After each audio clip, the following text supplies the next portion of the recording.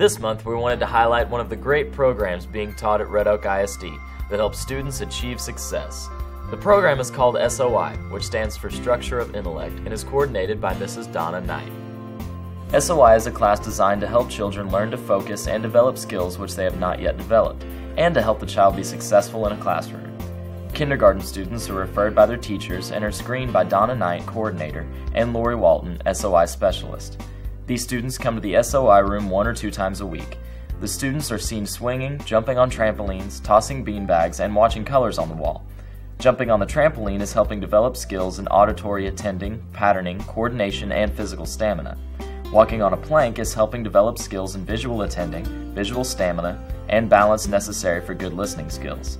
Beanbags, the students stand on a rocker board and toss a beanbag which develops areas of controlled eye movement needed for reading, hand-eye coordination, concentration, balance, and posture. Four corners. While standing on a rocker board, working on balance skills, the student wears headphones and listens to the tape calling out the color they are to look at on the wall.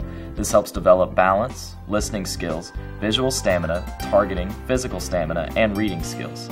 Swing. The students are placed in a net swing that makes them feel safer than a traditional swing.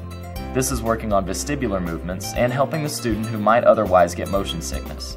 Fine motor. The students work at a table picking up buttons, tightening nuts and bolts, which helps them enhance their fine motor skills necessary for handwriting. Each day, Mrs. Knight and Mrs. Walton travel to all elementary schools to work with kindergarten, CBI classrooms, TLC, and PPCD rooms. While many of us never need SOI to help us develop, it is great that Red Oak ISD goes the extra mile to serve students who need just a little help. And we salute the SOI team for all the great work they are doing in Red Oak ISD.